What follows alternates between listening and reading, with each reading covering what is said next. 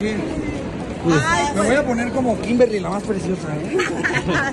¿Qué pasó? Oye, pues justo nada más para que nos platiques cómo estuvo toda esta situación o tu opinión respecto a la situación de Mau Nieto y Pues- Ricardo Farres. Pues para mí me dio tristeza, son todos mis amigos de todos lados, tanto Ricardo, que lo quiero mucho, como todos los involucrados, este, y justo creo que todo el mundo se enteró de pura gente que no fue, pura gente que no supo nada, de justo esto, el puro chisme, la gente quiso chisme, pero lejos de un chisme, pues creo que es una situación muy delicada, tanto eh, eh, por parte de Ricardo, que estaba muy mal, y que espero pronto lo podamos ver muy bien, y tanto las acusaciones que hizo en estos lives pues son todas muy delicadas.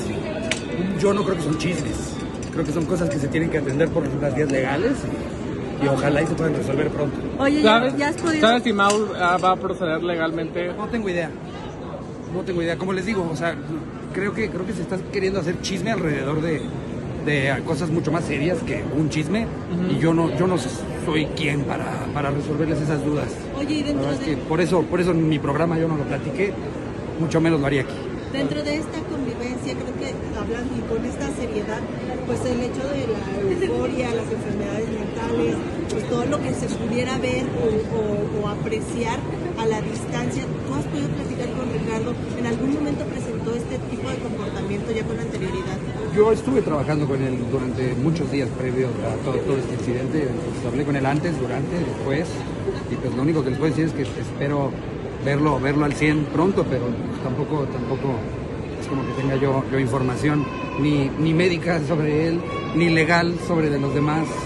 Eh, es una situación triste porque todos los involucrados son mis amigos. Oye, Claro. justamente platicabas, eh, decías, ¿no? Las acusaciones son muy, muy serias porque hablamos de, de que drogaron a una persona. Él, él hace aceleraciones muy, Sí, muy- muy fuertes. y- y fuertes y también un tanto inoportunas dado el momento y todo lo que sucedió. Con Mau has podido platicar. Eh, yo he platicado con todos y sería un terrible amigo si les dijera lo que sea que he platicado con ellos. Yo creo que las acusaciones graves se tienen que resolver de manera legal y, quien necesita ayuda necesita eso, ayuda. Y creo que eh, eh, convertir todo esto en, un chismerío es lo que, lo que complicaría mucho más ya de por sí una situación delicada porque creo que no es... No es no es este, realmente razón de chisme, ¿no? es como que cortó la pareja del momento o algo así, creo que es, un poquito más fuerte y todos los involucrados, creo, de, de los dos lados apreciarían mucho que tal vez les dieran un poco de espacio. Oye, pero sí sabes cómo está Richie, porque cuando se lo llevaron es, fueron, fue una forma muy rara como se lo llevaron. O sea, yo, yo sería un terrible amigo hablando de cualquiera de los involucrados. Como les comento, todos son mis amigos, a mí también me afecta por eso, porque es, es triste ver ver este todo un desmadre alrededor de lo que iba a ser un, un fin de semana tan lindo. eh, entonces no, no, no, no, no sé qué decirles más que eso. Dentro de esta amistad, los, eh, los papás, la mamá de, de Ricky se acerca a ti quizás como para saber algo más. De nuevo, esto es todo lo que les puedo decir. Muchas gracias, que tengan un buen día. Muchas gracias. Muchas gracias por